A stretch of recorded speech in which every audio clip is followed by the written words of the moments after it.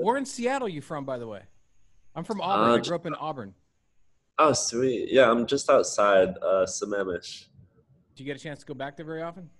Um, like not a lot. I think uh, I'll be back like for the holidays, but um, I've just been focused here. Yeah. Yeah, yeah. Once we moved here, that's what's funny is it was kind of a, a culture shock moving here from Auburn, but it was Mhm. more of a culture shock when I went back to visit after living here. I live in Studio City. Yeah. Oh, sweet. Yeah, so but it's it's it's was weird coming here, but it was even more weird going back. Yeah. Yeah, dude. Going back to that, just Washington area. It's like, I don't know. It feels like I like living here more because um, just like what I do, I feel like more involved in everything that's happening and uh, less of like missing out. Um, especially like for the the music scene, like everything that's happening is like here, and so um, I wouldn't want to be in like rain. Trees. Yeah, bushes. trees, like, like yeah, n- like it's not like the biggest difference, but it just kind of feels like off to me um, at the same time. So I think yeah, my dreams feel like more realistic here, um, for sure. Yeah, it's almost like a little, at least for me, because Auburn is, I mean, similar. You know, I mean, it's trees and it's a kind of Just a like time warp flat. going back. It's, it's Yeah, yeah, for sure. But we're here now. Vibes. We're here now. So, Oh, what, where yeah. about in LA do you live? Like, what what part of town are you? Are you Valley or I'm in I'm in Hollywood right now. you are? Okay. Yeah. Um, How do you like it's it? Interesting. It's Yeah. uh it's all right. Like um I'm kind of experiencing a lot here. Like um my my car was stolen like not too long ago. Um out of my apartment.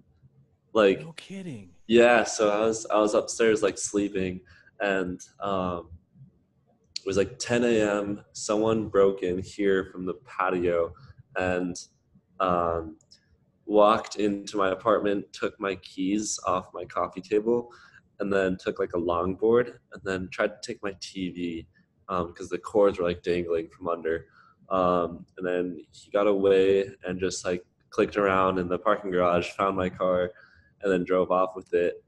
And then I woke up two hours after that happened and just went about my day. I was like, can't find my keys. That's weird. And for five days, I was just like, I don't have my keys. And so I called a tow truck to come down and like tow my car to the dealership so I can get a new key. And then I was guiding the truck down to my parking spot. And then I look and see that my spot was just empty. And even then, that's when I like kept blaming myself. I was like, okay, where did I leave my car? Right. I'm right. so dumb. And so, um, yeah, that's so they they were actually in your house though while you were sleeping. yeah. So I, uh, I was just like, I just, yeah, I woke up after the fact. And then, um, that's when I was like, okay, I think it got stolen because I'm retracing my steps and I got home this time, didn't drive my car, and now it's gone. Um, and then, yeah, we go through security footage, and even here, um, I, uh, I named my car Susan, so there's a story highlight on my Instagram called Susan with like a broken heart. Um, see this guy just like walk in, next slide, walk in. Look how sketchy he looks, and then Look how Um, comfortable he looks though. At the same time, then- he's so chill and casual.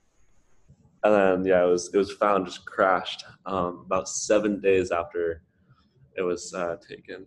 Damn, man. Wow, what a crazy feeling of violation. And then I know it's so crazy, but I gotten really good at locking my back door. Yeah, when that's something like that happens, though, I mean, you're home, it starts to feel different, at least for a little while. How how long ago was that? um, probably like like two months ago or so. All right, so you're starting to feel Um, normal again to a point, but Yeah, Yeah, kinda. Yeah, we're good. welcome to Uh-huh. LA, bro.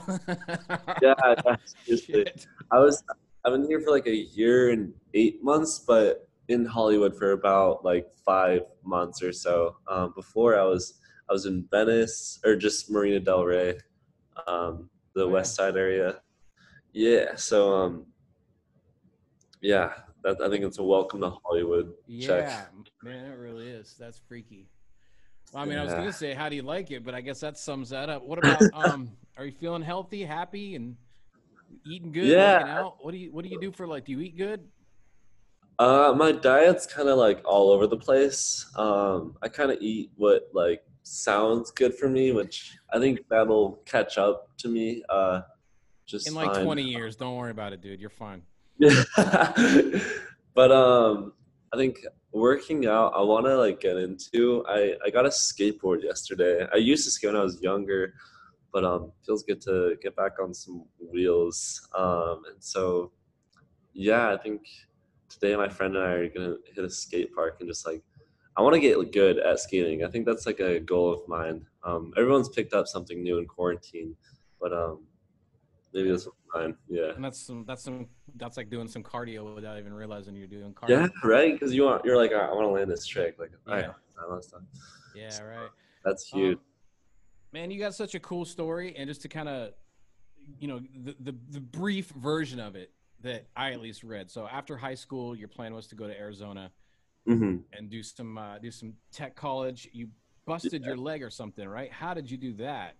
Yeah. So I I didn't have good grades at all coming out of high school. Um, in What high school, by the way? What where'd you go to? Eastlake High School. Oh, okay, okay. Yeah, are you familiar?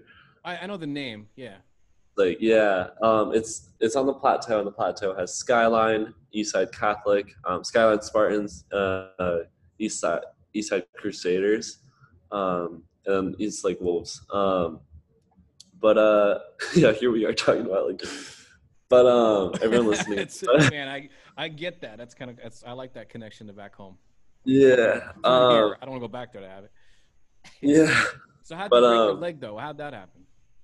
So I was, I was like, okay, I need to go to school, and then I was like, I'll go to Arizona for this computer science school. Stoked on that plan, and then um, that August of 2018, I was on a scooter, and um, I was like on this hill, like like a residential hill, like not too steep, but I was doing a like a manual down it, and then um, I just like lost balance and then like took a step and I don't know what happened. I just snapped my tibia and my fibula and it was a compound fracture, completely snapped. Like I kicked up at myself in the fall and then like my shin down kicked up again at me. Like Oh, it did like a whole another like knee Getting a visual reverse knee. and then um I was like, whoa, it's broken.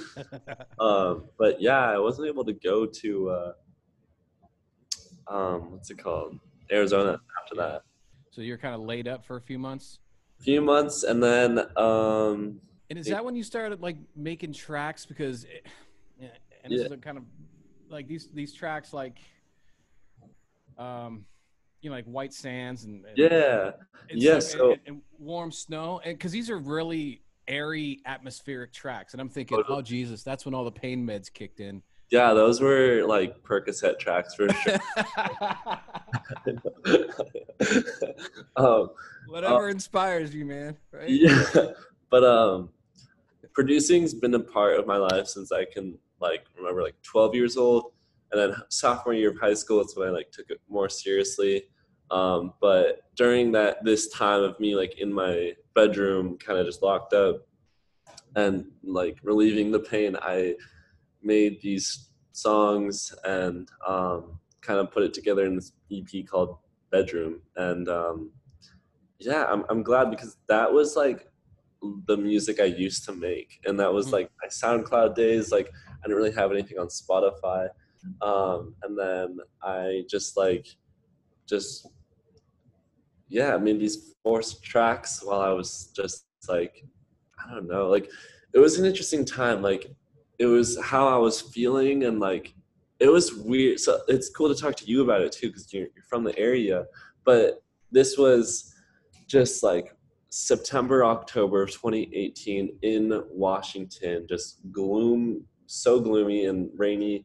And I was like just in my bed, just like same day was the same, like broken leg, unable to move. Like all my friends had just had their like goodbye goodbyes and like left to their colleges, and it was like right. such like not a usually dark- a place where people linger too long. So yeah, it was like very like it was a dark time for sure because it was like extreme like they call it FOMO, and with that it was like these painkillers and so like I was like, dude, this is like weird, and so the only way I, I kind of just saw music as like a canvas, and so it was like this like really trippy music, and that's where the atmosphere came from.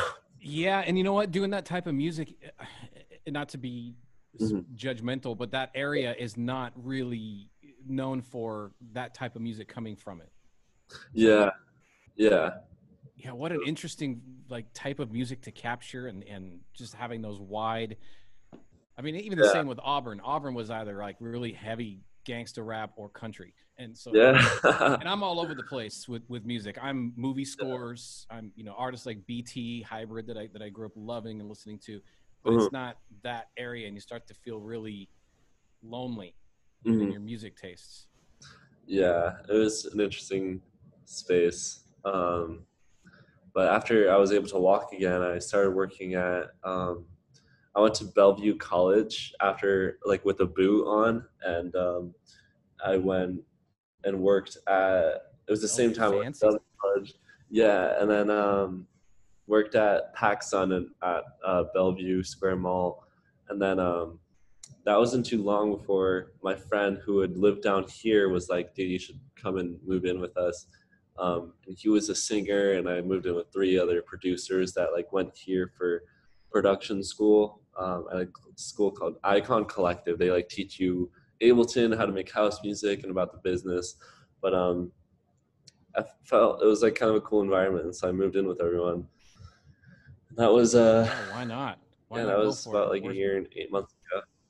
Yeah, worst case you go back. Yeah, not go for yeah, it? Good so for that's you, when I, like- I don't mean I don't mean to sound condescending, but good for you for it that young. I left I left Uh and I moved to Eastern Washington when I was 20. So it's heavy. It's a lot. Sweet. It's it's a lot to Yeah, deal with I- emotionally. I get it. Yeah, my my brother. I'm the youngest of five kids. So my oldest brother, he's 32, um, and he went to Eastern out of. Uh, he went to Skyline for high school and then went straight to Eastern um, for college, and he played football there. It's crazy. And yeah, it's. Uh, What I you, know it's crazy just talking about this. Yeah, right. Being that local. Mm-hmm. Yeah. Um, what do your friends think of all this that's happening with you right now, or do you, or do you just say screw you guys? I got new friends down here. No, I'm in a batch. I definitely know, you know, who was there before everything Yeah. happened. Like, and that includes the people I like moved down with, um, and people I was living with currently, like, or not currently, but when it was all happening, like who I was living with then. Um, but there is like a contrast of those people versus people who are like hitting me up now. Uh, Sure. sure. yeah. But uh, it's uh, it's been cool. You know, everyone's really proud of me, and um, it's it's always really cool to hear. Um, a lot of people send me like videos of like themselves hearing it on the radio, and was like, Oh, dope. well, yeah, yeah, What's the weird? Is really a weird cool. one? What's the weirdest place that people have sent you a video hearing your song? Like a Trader Um, Joe's wow, or this one something time- like that. Or, well, this one time I was uh, actually. Are you maybe familiar with the artist named Medasin? no. Um, he's he's really such a great producer. He makes stuff on uh, SoundCloud. He's like he's toured around with like other DJs, but he sent me like a video of himself like singing it.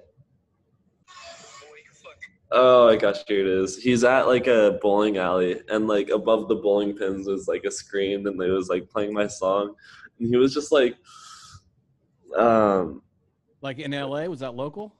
Oh shit. Yeah, What a trip! there's like a bowling alley in here. Wow, It was that, like- it was that like- is a trip. yeah, that, that looks like that looks like Pinz over on Ventura or something. That's what it looks like. I don't know. Yeah. Um, that That's there was another one of uh, this person was in Disneyland and like there was a huge screen, like just huge, like around where people would like walk around, and it was just like the music video, and I was Wow, like- that's cool, man. Cool. Are you are you single? What's your situation? You you uh, Yeah, I'm married to the game right now. attaboy. You don't need that crap. You don't. You don't get time for that. One day you want to get married and kids and all that stuff. Um. I think so. Someone asked me that like two interviews ago, but I think so, dude. Like, yeah, I would say so. yeah, one day. That's cool. By the way, speaking of that, how's your like? Are your parents cool with this? Are they? Are they uh, Yeah, they're- Washington still? Yeah, for sure. They're like very supportive, um, especially because my dad's like huge into music and um, like kind of got me into it in the first place. And so uh, I think it's really cool for him to see. And then um, my mom as well. My mom had never listened to like the radio until now, where she just kind of like looks out for the song. Um, and when she does, she like lets me know. And it's it's really cool. Um, but They're yeah, probably like, I remember when that song, the original, came out. Oh. Is that how you heard it? By the way, is that or is something you just picked up on? It was uh like like um the original Frankie Valli song. Um I was aware of it, yeah, and I'd heard it around. Um but this rendition of it came about when I was uh I was scrolling on like the app TikTok and the artist Emilee um had uploaded a version of like just herself in her room like covering the song. And um I just like loved her take on it. And um, she she was getting like a lot of attention for that cover initially, and so um, I just like downloaded the audio and like remixed it and like made it a thing. And without even her knowing. uh, she didn't know, but she Oh. she and I like got together and like distributed it from there. So you had to And make that call and go. Um, by the way, I made this track. What if she would have Yeah, said yeah. no? What if she would have said hell no? Then you would have been sitting on this track. It would have been a white label. You know, you would have had to push it out somehow. yeah, it's been a it's been a trip in that matter for sure. Yeah. Um, what a great artist to pick to use though. Emilee, it's uh, Emilee. Yeah. she's she's got this such a great voice that it sounds wide. It sounds good when you add like some extra, Yeah. you know, wide reverb and stuff, and even some totally. even some you know grain synths or kind of granular synthesis it's just it, it adds Yeah. something to it to a soft female voice like that but it's her voice is so true to her actual voice Yeah, uh, yeah, yeah. She um that's like what I really like captured about the original TikTok too, like her cover, I shouldn't say TikTok, but was that her take on it was like something like I've never heard before. Um and she has like her own artist project where she a lot of her other songs are like kind of the same vibe and um yeah, she's she's been killing it. So yeah she's dope she's she doesn't try too hard Yeah, she's, definitely. being very much herself because i mean i don't want to talk trash about other artists yeah, some, yeah. some of them you can tell them talking is very different from them singing but hers is it's, it's very true to it. Yeah. cool. Totally. That's a really that's a really good point. Yeah, it's cool hearing that stuff. And now here you are, TikTok videos blowing it up. Now you're making bazillions. Um, Oh what's something that you bought that you were just like, I shouldn't have bought that, but fuck it. Um, I don't know. I've kind of gotten like, like I guess like upgrading like my speakers. Like I, I had like these Rokit KRK five inch cones, and now I have like Now you got the pro like the Yamahas, man. Those are yeah those eights or tens. What are those are five? Maybe eight inches. Yeah. Um, yeah, those are sick. maybe like a monitor. Like I plugged into this like monitor here and produced there instead of like a like a curved monitor instead of like a flat monitor. that is cool. That is cool. I like it, man. That's good. And that, that's like an IKEA table. You got all that set up back there. I recognize all that. I recognize those Yeah. on the on the table. So hopefully, when the world gets back to normal, you can pop into the iHeart building in Burbank and Yeah, absolutely. I love that.